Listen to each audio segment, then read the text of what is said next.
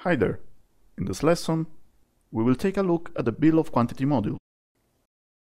And so click on this button in order to enter in its environment. Now on this workspace, we can see there is a bill of quantity table here on the left, and the two windows on the right will show us our model. So in order to estimate any object in our model, we just need to select it and then click on this button in order to open the price list. And select the correct document and from this list, we will choose the object selected before.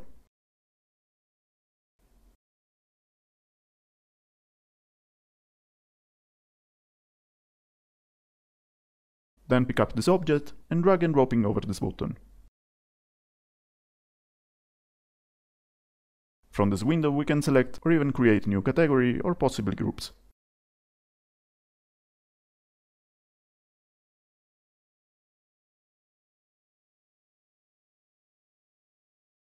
This pop-up editor allows us to prepare formulas by typing a description, like in this case, and maybe adding some more details, like for example, any variables from this list. Then in the length and width field, we can insert our dimension. This means that specific object-related measurements data is acquired directly from the object itself, and so without needing to insert data manually. We can also choose among different cost estimating methods, so for example, we can click on the white sheet button and choose the type of measurements method we want to use. For example, the wall surface without void. And so we will subtract any empty space.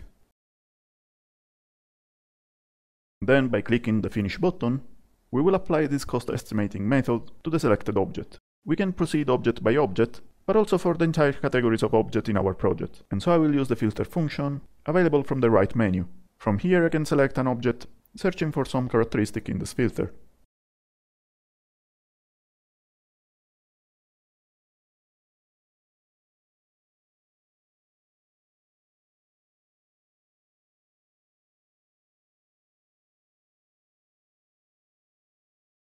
After we define this criteria, we can apply the filter, and so all the objects with the same characteristics will be selected in our model.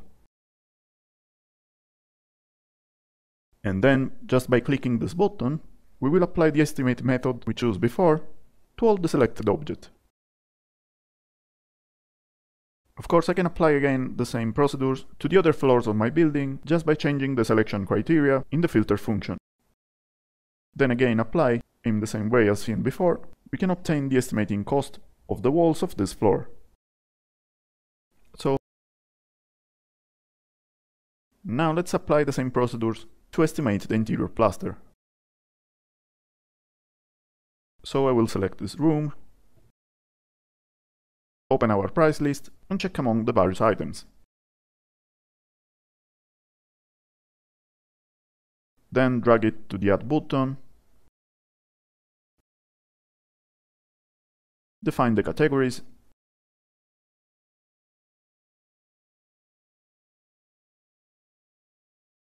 And now see the other cost estimating method. For example, in this case, I want to use the wall surface without tiles. I can also add another row, in which I can estimate also the ceiling plaster.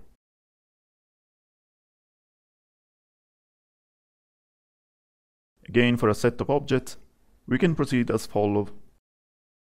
We will select the wall floor then open the rooms box from the right panel and select all the present entities. Of course, we can do the same procedures for all the other floors. Now let's estimate the windows of our building. So open the filter function,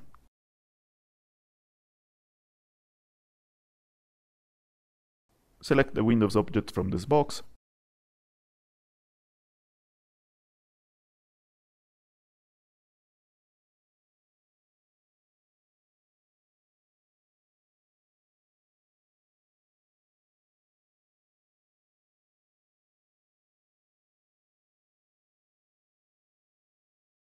and create a new category.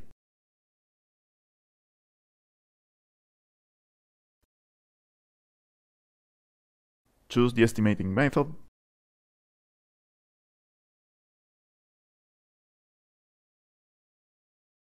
and click Finish.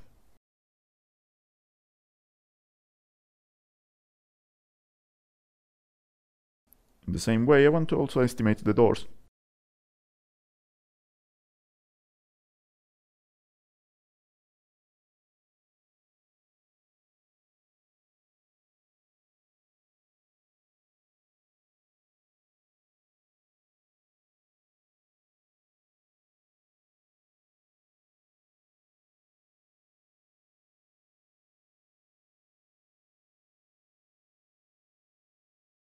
Now let's have a look at the railing object, for which we can apply a slightly different procedure. So select this railing here, open the price list, and search the relative items.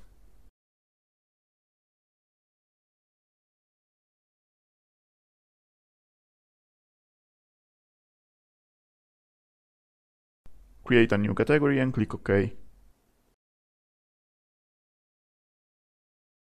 Again, in the editor, I will insert a description. And here I want to use the length property. But as you can see here, our price list has defined the item with a different property. And so here I will add a new variable.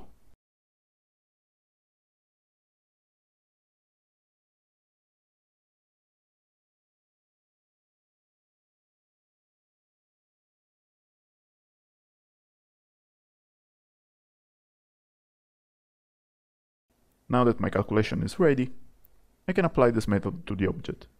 Now here, for this example, I want to insert 20 kilos per meter. And with a multiple selection, I will apply this method to all the railings of my building.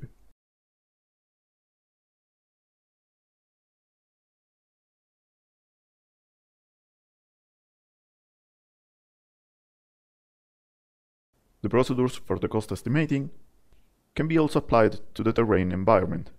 So I will select the terrain object, then open the price list, and select the item we want to apply to the terrain. For example, I want to estimate all the earthwork in my building site. So drag and drop it, and create a new category.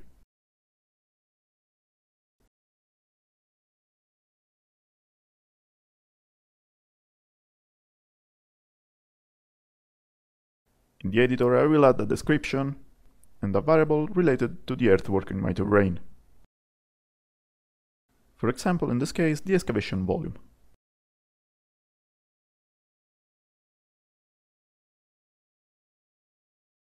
So with just few steps, we have acquired all the relevant data to acquire measurements and assign cost data to our building. Now the cost estimated of our building is completed. But let's suppose we want to add or delete something to the building itself. In this case, we don't need to go back to the architectural modules, as we can make some editing directly from here. And as we are working on a dynamic environment, all the drawings are going to adapt instantaneously to the new condition. Now, for the sake of this example, I will insert a new Windows here. Then I can directly use an existing Windows computation by choosing this one for example,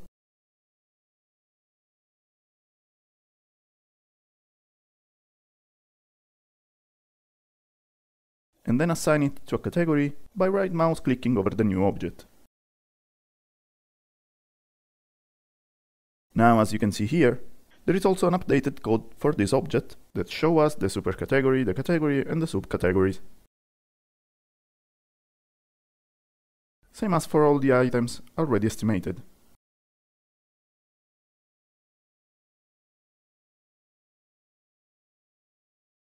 Also here, we can see the total cost for each supercategory, category, and subcategories.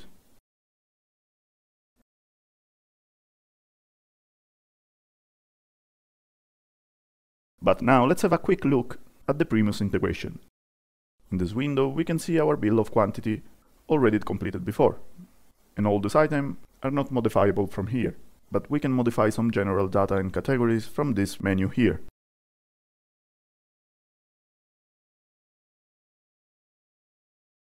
A very useful procedure from this environment will allow us to integrate this bill of quantity with some item that we can import from other bill of quantities. So for example, by clicking this button, I will open another document, and then with a simple drag and drop, I will bring this item to my new bill of quantity. Then close the windows and save. And you can see here the new item.